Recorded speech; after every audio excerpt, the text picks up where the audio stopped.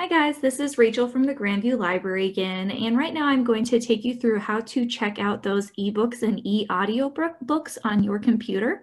After this, we'll do another sh short tutorial on how to check them out and read them on your device, but for right now, we'll just look at how to do it on your computer. So you're gonna go back to ghpl.org, just our Grandview Library website, and you're gonna go back down to this purple toolbar and go to Digital Collections.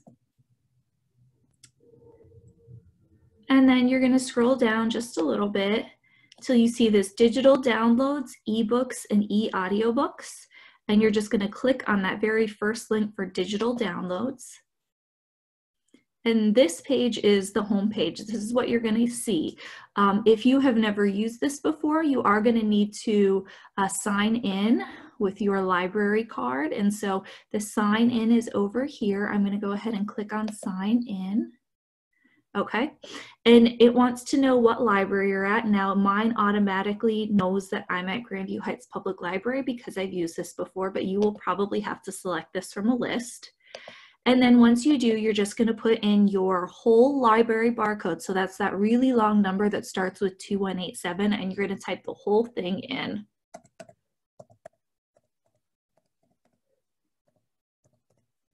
And then you're going to put in your four digit PIN number, okay? So if you don't know that, check with mom and dad because chances are they're the ones that created that four digit PIN number. Okay, then you're gonna hit sign in. Unless you accidentally miss a zero. Sorry guys. That is a lot of numbers to type in. Let's try this again. Ah, there we go. So once you have typed in your entire library barcode correctly, it will pull you back into that exact same page, but now you will be signed in to your account. So now if you search any books um, or find anything you want to check out, you can go ahead and do that instead of having to sign in later. So there's a couple of different ways you can do this. One is if you already know what book you're looking for. Um, and so when we were looking at those recommended reads, uh, Anne of Green Gables came up in historical fiction. So I'm going to use that as an example. So you go to your search button right here and click it, and then just type the title. Oh, and it's coming right up, Anne of Green Gables. And this will show you everything that they have that is Anne of Green Gables related. So You'll notice on some of these books that there's a little button that says borrow. That means that these books are available right now. Some of them are not available right now because someone else has them checked out. And that is where you will see this place a hold. Now, a hold is just like a library hold. We can't really um, tell how long it's going to last, uh, you know, because people turn in books at different uh, different points, but um, it does give you an estimate, but it could be two weeks, it could be four weeks, it could be eight weeks. So this might not be a function that you want to use unless it's something that you really, really, really want to read and you don't care when you get it. But if you want to just look at things that are available right now and not bother seeing anything that isn't ready to check out this minute, then you can go to over on the left-hand side where it says availability, available now, and click that button. And when you do that, you're going to see the Anne of Green Gables stuff that is available right now. So no putting on hold, any of this you can just borrow right away.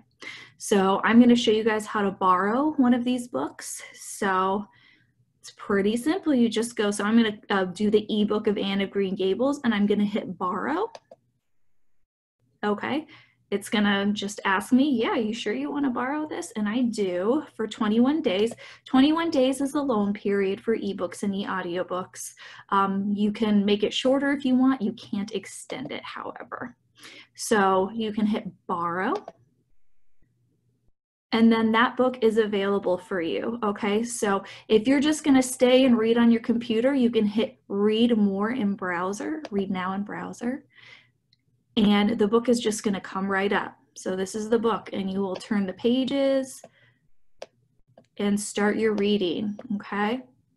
So the audiobooks pretty much work exactly the same way. I'm gonna flip back to where we were before. If I wanted to borrow an audiobook, I would just hit borrow. I'm going to get that same notification and choose borrow. And I'm going to hit listen now in browser. Okay, so it's going to come up with a screen like this. You will press play. Green and there it goes. It starts. Okay, so that is how you can borrow something if you know specifically what it is you're looking for. But if you just want to browse, I can show you how to do that. We will go over here to, here we go, subjects. Look at all of those subjects. And I'm sorry if I didn't tell you, this is that very left-hand side where it says subjects. And they have a ton of subjects on the digital downloads. You guys are gonna scroll down past the fiction, past the nonfiction, all the way to the juvenile fiction. So they have all of these different categories for juvenile fiction. So say, I'm just gonna stick with historical fiction. Say I want a historical fiction book, but I'm not sure what. Well, you can go ahead and click on historical fiction and you can do the exact same thing we did before if you wanna see just what is available right now. Underneath availability, hit available now. And it's thinking. Thinking hard. Okay, there we go. So it's going to show you 415 results that are available right now. Okay, so no wait at all. You just click on it and check it out. So don't tell me you can't find anything to read because there's a ton of stuff on here that is available to read right at this very minute.